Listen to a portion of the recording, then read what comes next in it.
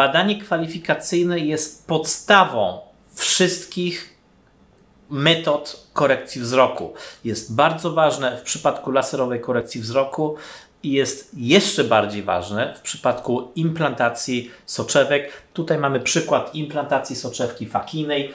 E, w Swiss Laserze nie bierzemy automatycznych danych, które nam e, niektóre urządzenia dają, ale robimy jeszcze dodatkowe pomiary, które zwiększają precyzję obliczenia takiej soczewki fakijnej. I tutaj nie chodzi tylko o dioptrię, ale tutaj chodzi tak samo o parametry anatomiczne implantu, mierząc dodatkowe parametry wewnątrz oka. I tutaj bazujemy tak samo na bardzo zaawansowanej technologii, technologii OCT przedniego odcinka oka. Używamy tutaj akurat e, urządzenia, które się nazywa Anterion firmy Heidelberg Engineering. Jest to na dzień dzisiejszy jeden z najbardziej technicznie zaawansowanych e, biometrów e, OCT przedniego odcinka oka i tutaj mogę dokładnie na przykład na tym przykładzie wyliczyć e, jaka jest odległość pomiędzy e, kątem, e, pomiędzy kątami e, oka lub e, tak zwany, można obliczyć tak zwany lens rise i możemy to też porównać do innych automatycznie uzyskanych anatomicznych parametrów.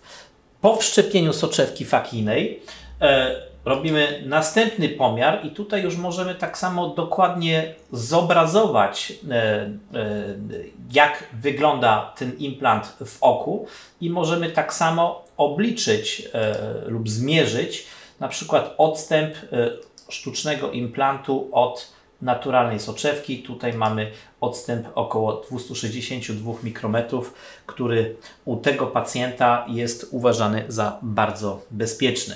E, możemy tak samo zobrazować cięcie, e, które wykonaliśmy podczas zabiegu. Możemy sprawdzić e, anatomię tego oka w różnych płaszczyznach i to daje nam o, o, wiele więcej informacji w razie, jeżeli soczewka nie byłaby w idealnej, w idealnej pozycji. Możemy tą soczewkę zawsze wymienić lub tak samo przy następnych kontrolach można, możemy porównać, jakie są zmiany e, pomiędzy e, kontrolą powiedzmy dnia pierwszego i pomiędzy kontrolą po roku i na podstawie tego możemy podjąć tak samo decyzje, które mogą mieć kliniczne konsekwencje.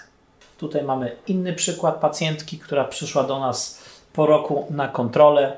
Tak samo widzimy wszczepioną soczewkę, widzimy, że ta soczewka jest e, w bardzo dobrej pozycji. Możemy tak samo zmierzyć odstęp e, e, anatomiczny od naturalnej soczewki.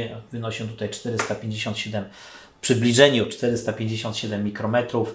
Wygląda to bardzo dobrze. Praktycznie zalecamy regularne kontrole po wszczepieniu soczewki fakijnej, e, kontrolując wszystkie parametry anatomiczne.